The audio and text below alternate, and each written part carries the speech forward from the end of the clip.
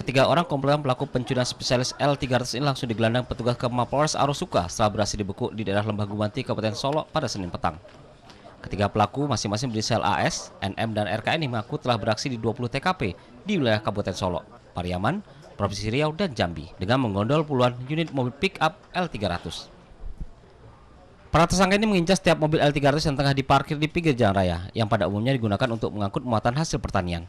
Pelaku curanmor lintas provinsi ini berhasil dibekuk setelah mendapat pancingan dari salah seorang anggota polisi yang tengah menyamar sebagai pembeli mobil curian yang kemudian membekuk penada dan pelaku di dua TKP yang berbeda. Dari tersangka, petugas mengamankan 4 unit mobil pick-up hasil curian serta 5 unit kunci letter T yang digunakan untuk beraksi.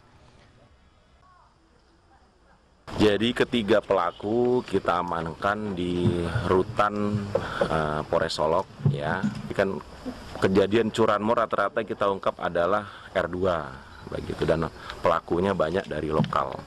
Nah, ini kita bisa ungkap mobil yang memang perlu keahlian khusus dan perlu waktu untuk bisa uh, melakukan tindak pidana pencurian kendaraan R4 uh, terutama yang L300 ini kan begitu.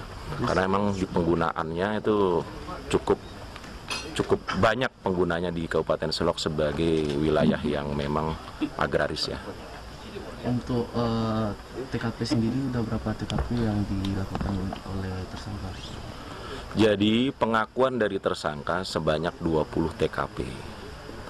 Seluruhnya itu terbagi di empat kabupaten Solok, ya, empat itu di Parima, Pariaman, sisanya itu di Jambi, Riau dengan Agam. Spesialis L300, nah, spesialis L300.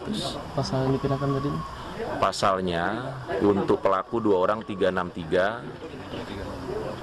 contoh 362 dengan ancaman 7 tahun ya 7 tahun Terus untuk satu pelaku penadahnya kita kenakan 480 dengan ancaman 4 tahun. Jadi 4 tahun bisa kita tahan karena pengecualian. Dari Kabupaten Solo, Budi Sunandar Ainis melaporkan.